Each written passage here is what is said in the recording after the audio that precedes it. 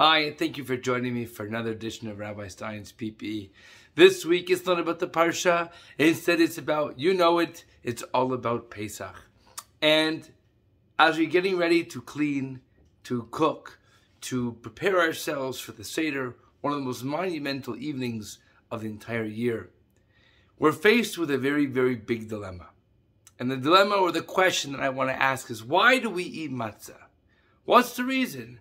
Rabban Gamliel says there's three things you must discuss at the Pesach Seder, otherwise you've not fulfilled your obligation. Pesach, matzah, and maror. He says, matzah al shuma. Why do we have matzah? Because the answer, he says, not enough time for the bread to rise when the Jews were leaving Egypt.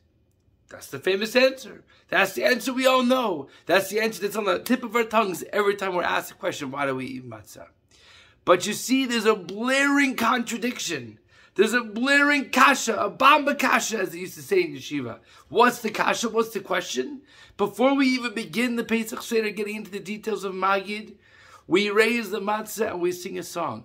Halachma, halachma an yadi achalu, achalu of. This is the bread, the bread of affliction, the poor man's bread, the slave bread that our forefathers, our ancestors ate when they were slaves in Egypt. So if that's the case, if our forefathers ate matzah when they were slaves, then they've been eating matzah for a long time. Close to 210 years even, I'd say. I'd say.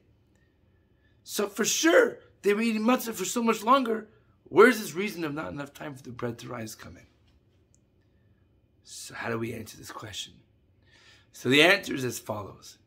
You see, the Egyptians had to feed the Jewish slaves millions of slaves, cheap, economical, and something that will satiate them for long periods of time. That's matzah. And when the time came to leave Egypt, Makat Bechorot, Makas Bechoros happened at midnight. The Jewish people left the next morning. Ample time to bake bread. Yet, we were so busy preparing ourselves mentally for the Geula.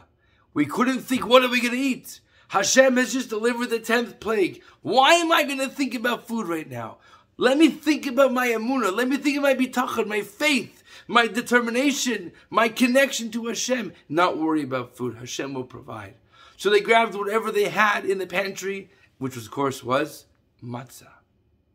And so we sit down at the Seder night, and we're about to eat the matzah. Why do we eat matzah now? We were slaves, and this was the food that we ate as slaves.